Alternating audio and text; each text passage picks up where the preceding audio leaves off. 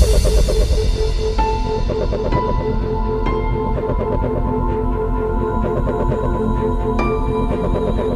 you.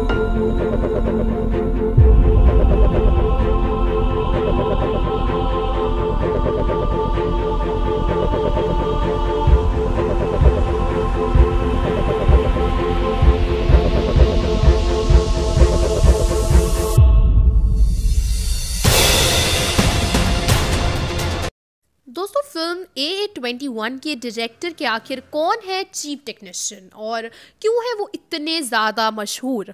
दोस्तों, क्या south Indian cinema ने भी देखा है फेवरेटिज्म और नेपोटिज्म का भयानक रूप? हेलो फ्रेंड्स मेरा नाम है गरिमा अरोड़ा और स्वागत है आप सभी का हमारे चैनल पॉलीग्राफ स्टूडियोज पर। दोस्तों, आज मैं आपसे बात करने वाली हूँ film A A twenty one के बारे में। तो चलिए दोस्तों, शुरू करते हैं इस इंटरेस्टिंग वीडियो का सिलसिला। दोस्तों फेवरेटिज्म यानी किसी भी शख्स को बिना परखे, बिना उसके हुनर को जाने, विजेता घोषित कर दिया जाता है। जी हाँ दोस्तों, उसको विनर बता दिया जाता है। कारण बस ये है कि वो आपको पसंद है या आपका जानकार है। इसी शब्द को आप नेपोटिज्म का भाई या बहन भी मान सकते हैं। जी हाँ दोस्तों, जैसे किसी इंटरव्यू में अगर इंटरव्यूअर आपके रिश्तेदार निकल आए तो आप चाहे कितने भी बड़े नालायक हों, आपको मालूम है हाउ इज़ योर चोज जो कि हाई होगा, क्योंकि आप उसके जान पहचान वाले हैं या उसके रिश्तेदार हैं या कुछ भी हो सकते हैं। या फिर अगर टीचर आपकी मम्मी हो तो आपको चाहे स्कूल में कितना ही डांटे, लेकिन देर सवेर मॉनिटर तो आप ही क्लास के बनोगे। दोस्तों, कम शब्दों में अगर फेवरेटिज्म को कहें तो बॉलीवुड। जी हाँ दोस्तों, लेकिन हम आपको ये साफ़ शब्दों में पहले ही बता दें कि ऐसा हर जगह नहीं होता है। जैसे हर कुत्ता जैसे टॉमी नहीं होता, हर बिस्कुट जैसे गुड्डे नहीं होता, वैसे हर शिक्षक फेवरेटिज्म के माया जाल में नहीं फंसता है। कुछ बच्चों के पेरेंट्स स्कूल के बाद घर पर भी टीचर के किरदार में रहते हैं, जिस वजह से उन्हें घर भी क्लासरूम जैसा लगता है। इन्हीं बच्चों की प्लेलिस्ट में सबसे ज़्यादा दर्द भरे गाने छिपे होते हैं। और दोस्तों, इनका फेवरेट गाना होता है, सारी उम्र हम मर मर के जी लिए। एक पल तो अब हमें जीने दो जीने दो। दोस्तों, वही किचन से मम्मी की आवाज़ आती है, जाने नहीं देंगे तुझे जाने तुझे। देंगे नहीं। लेकिन पिता ही एक ऐसा फरिश्ता होता है जो पहले मम्मी से बचाता है, पूरी ज़िंदगी ऐश कराता है और अगर ज़िंदगी में कुछ नहीं बन सके तो फैमिली बिज़नेस में ही लगवा देता है। हमारी इस बात से करण जौहर भी सहमत होंगे। दोस्तों, करण जौहर ही क्यों? साउथ में भी कुछ ऐसे फिल्मी परिवार हैं जिनका पूरा का पूरा खानदान पेड़ की शाखा की तरह फ़िल्मों में फैला हुआ है। जैसे कि बात करें चिरंजीवी की तो ये तो आप जानते हैं कि उनके पुत्र रामचरण हैं।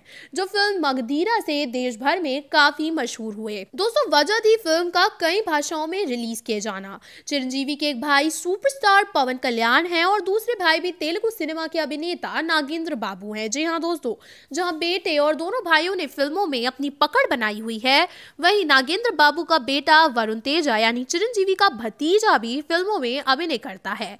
और शॉकिंग खबर यह है कि साउथ के स्टाइल स्टार अलू अर्जुन, जो लकी रेसर से काफ़ी काफ़ी मशहूर हुए, वो भी परिवार का हिस्सा हैं। जी हाँ दोस्तों, इसी परिवार का हिस्सा है अल्लू अर्जुन। दरअसल रिश्ते में तो अल्लू अर्जुन के ये फूफा लगते हैं।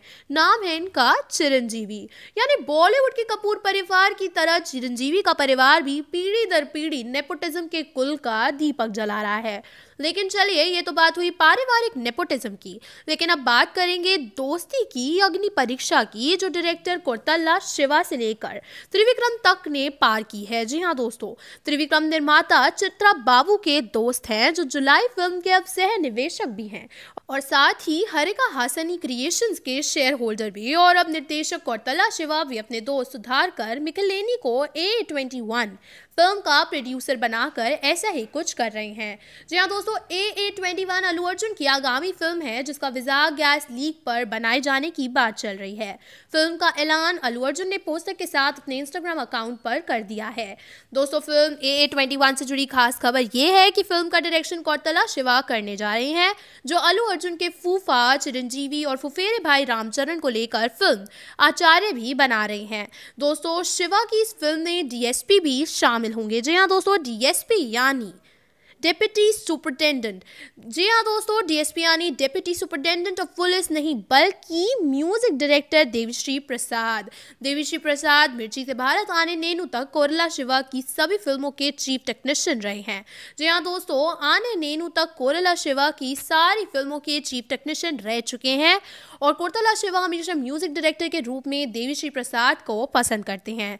दोस्तों, सुकुमार ने अल्लू अर्जुन की दूसरी फ़िल्म पुष्पा के लिए उन्हें ही चुना है। बावजूद इसके कि अल्लू अर्जुन ने म्यूज़िक डायरेक्टर के रूप में थमन को चाहते थे। जी हाँ दोस्तों, थमन को चाहते हुए भी उन्हें नहीं चूज़ किया गया, जिसकी वजह उनकी हाल ही में सुपरहिट फ़िल्म में थमन का ज़बरदस्त काम है। दोस्तों, क्या शिवा देवीश्री प्रसाद को अल्लू अर्जुन के साथ उनकी अगली film A A twenty one के लिए वापस लाएँगे? या मनीष शर्मा के साथ ही काम करना जारी रखेंगे?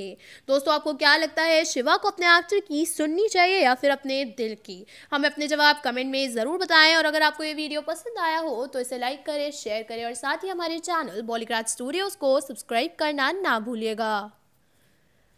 ये स्क्रिप्ट लिखी है सिमरन रावत ने।